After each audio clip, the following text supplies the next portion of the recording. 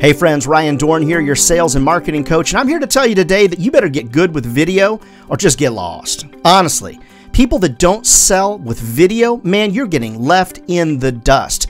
I'm talking about using tools like Soapbox, uh, using Loom, using Google plugin tools like Cloud HQ. There's so many that are out there. You got to get good with video from prospecting to hosting meetings to answering client questions. Friends, it is so much more personal to record somebody a quick reply. There's all kinds of Chrome extensions out there. Some I've mentioned that you can use to drop emails and uh, videos rather right into your emails. Friends, you got to get good selling with videos. If you don't, I fear for you, friends, you're just going to get lost in the sales and marketing business. Hey, marketers out there, you don't have to be Steven Spielberg to create a video that's going to get my attention. As a matter of fact, as long as it looks authentic and it's got great audio, I'm probably going to watch it. Oh, and by the way, needs to be really short. People always ask me, what's the perfect length of a video? Short. Keep it short, two minutes or less. I think two minutes is like an eternity in cyberspace. Sell with video, friends,